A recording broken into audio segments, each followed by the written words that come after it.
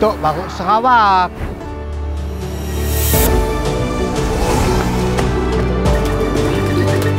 Jom kita rami-rami ke situ.